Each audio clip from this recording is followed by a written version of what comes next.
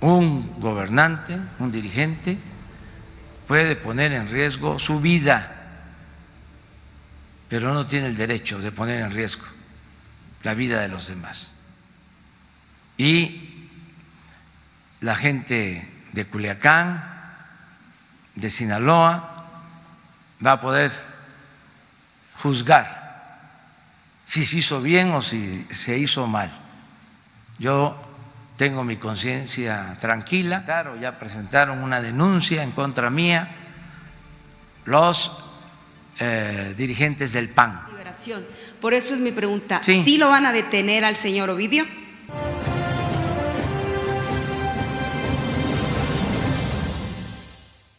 En otro tema, presidente, si me lo permite, eh, con relación a lo que ocurrió en, en, Culiacán este jueves negro para todo México, eh, ¿cuál es el compromiso del presidente de la República Mexicana eh, frente a la sociedad? ¿Usted se compromete a detener a estos eh, criminales? ¿Ofrecerá recompensa? ¿O les pedirá que dejen las armas y se entreguen voluntariamente? y me gustaría saber si cuándo va usted a ir a Culiacán a darles un mensaje a la ciudadanía que vivió lo que pueda ser criminales que rayan en, el terrorismo, a estos niños que vimos en las imágenes, ¿qué les va a decir? Eh, este mensaje de solidaridad. Eh, hoy no pueden ni siquiera ir a tomar un helado en las calles porque se materializó lo que todos sabemos. El crimen está ahí, el jueves lo vimos ahí y su capacidad y saber eh, si el señor Durazo o Audomaro eh, le han presentado acaso la renuncia y cuál ha sido el papel del Ministerio Público, del representante social. Eh, estos operativos son acompañados, son encabezados por un representante social, es decir, el Ministerio Público, la Fiscalía. ¿Cuál es el documento legal, la figura jurídica? Que se está eh, tomando en estos momentos para esclarecer todo lo que pasó este jueves pasado. Gracias, presidente. Pues ya, este, vámonos a, a lo general, porque ya este, se abrió el tema. Miren, eh, aprovecho para informar a todos los mexicanos y de manera especial a los sinaloenses y al pueblo de Culiacán de que tomamos la decisión de evitar la confrontación, evitar el que se siguiera eh, llevando a cabo esta violencia el jueves por la tarde y que el propósito de detener esta acción fue el de salvar vidas, el de evitar una masacre. Teníamos la información de lo que estaba sucediendo una situación bastante compleja, delicada, y no podíamos arriesgar la vida de las personas por la detención de un presunto delincuente. Nosotros no vamos nunca a optar por la guerra por la confrontación, por el uso de la fuerza. Lo que nos importa es la vida de las personas. Nuestros adversarios, los conservadores, corruptos que se padecieron en los pasados gobiernos, aplicaron una eh, política de confrontación y de violencia para supuestamente garantizar la paz y la tranquilidad. Y esa política insensata, inhumana, produjo más violencia, mucho sufrimiento, masacres. Había hasta la decisión de arrasar,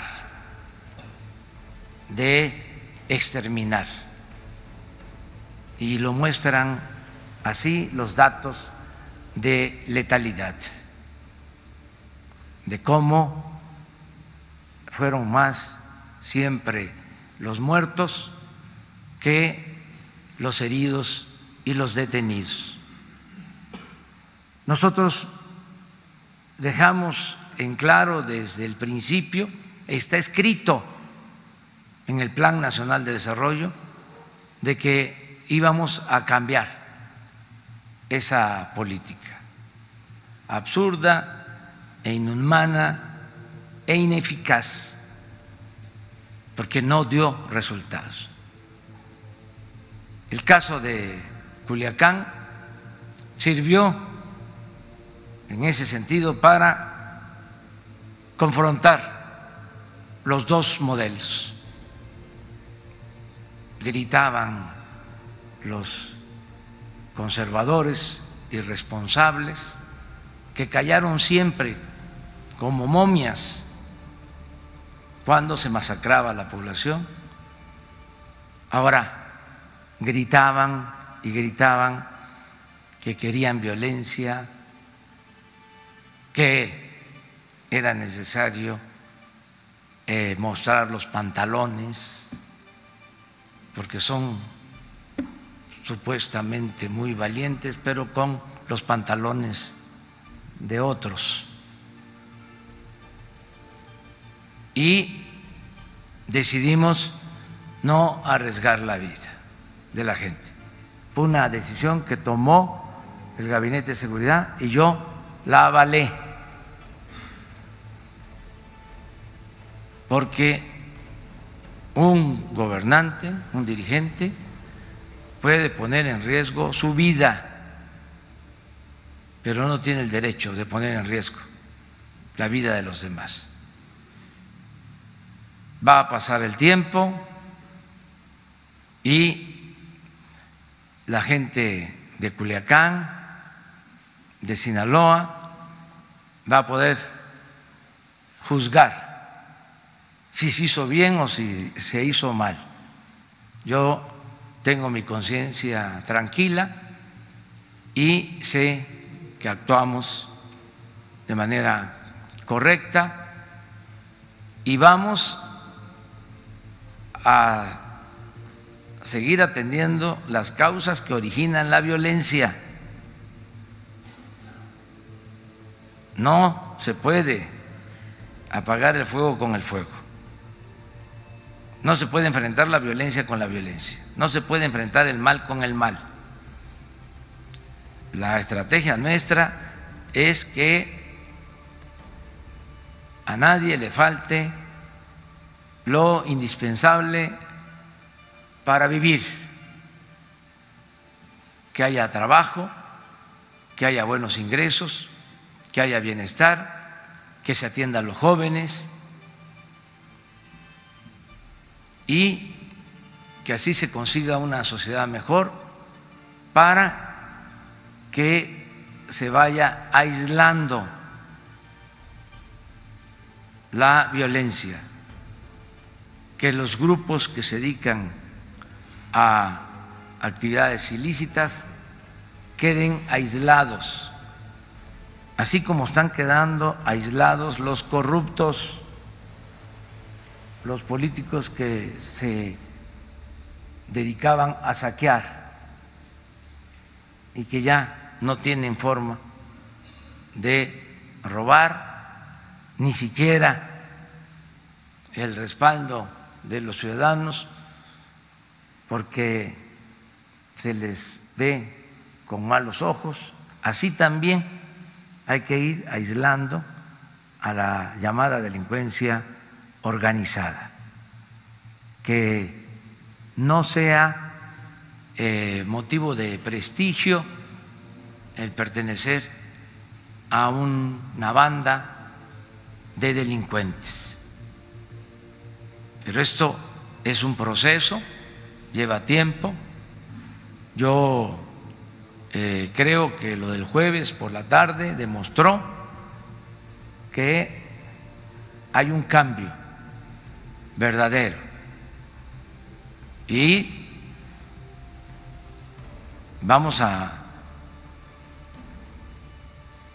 fundamentar el por qué se actúa de esta manera, de esta forma, y estoy dispuesto a comparecer, porque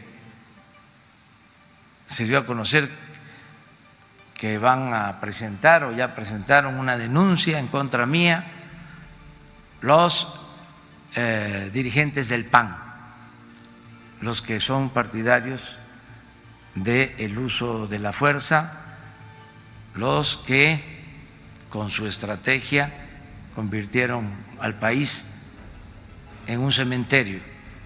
Entonces, sí me gustaría ir a comparecer ante la autoridad, sí lo solicita la autoridad competente para ir a dar eh,